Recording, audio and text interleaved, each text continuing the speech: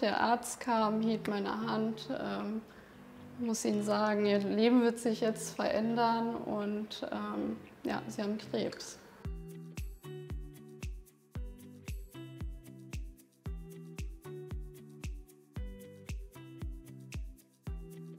Ja, wir wollten uns den Karnevalszug anschauen und ähm, hatte aber leichte diese Symptome, die Rückenschmerzen, wollte zum Arzt gehen, das anschauen lassen, alles hatte zu, haben gesagt, komm, gehst du vorsichtshalber noch zum Krankenhaus, lässt dir vielleicht was verschreiben. Es wurde Ultraschall gemacht, es könnte eine aufgeplatzte Zyste sein oder was weiß ich, Nierenstein.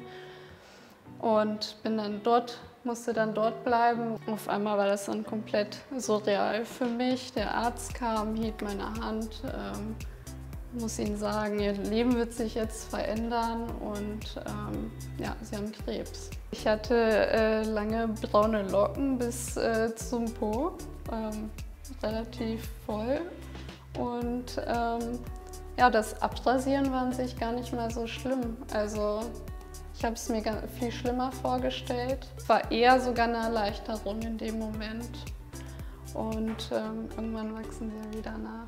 Also ich würde jetzt nicht sagen, dass man mit einer Glatze weniger feminin ist, aber ähm, eine Perücke gibt einem schon dieses Gefühl der Femininität wieder, auch wenn man un ungeschminkt ist oder ähm, gerade nicht so gut aussieht. Aber man, man hat ja schon ja, dieses Gefühl von vorher. Die sind ja Kunsthaar, die werden von der Krankenkasse gestellt. Ähm, da gibt es erstmal super viel Auswahl, aber ich glaube 80 Prozent sind einfach so altmodisch, dass man als junge Frau eigentlich damit nicht raus kann.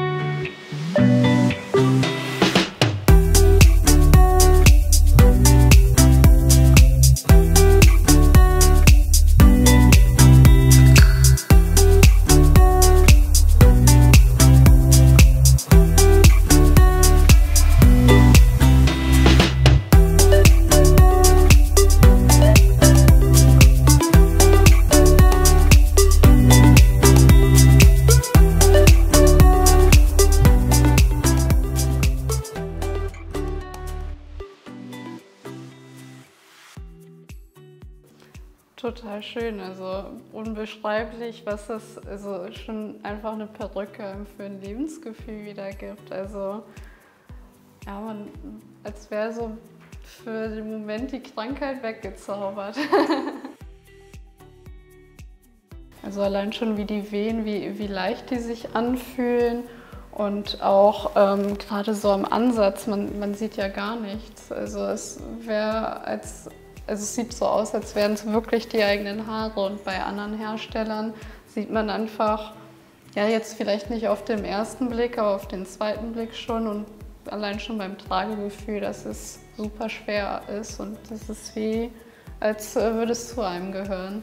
Ganz ähm, objektiv gesehen die ganze Organisation, wie, wie schnell das alles ablief, ähm, wie strukturiert aber auch das Menschliche. Also ich habe mich direkt gut aufgehoben gefühlt vom ersten Termin an bis jetzt und ähm, ja, finde ihr seid alle super sympathisch und ähm, geht auch nicht anders mit einem um und es, man merkt, es ist nicht auf ähm, ja, Hauptsache Geld von jemandem abschlagen, es ist wirklich das Menschliche.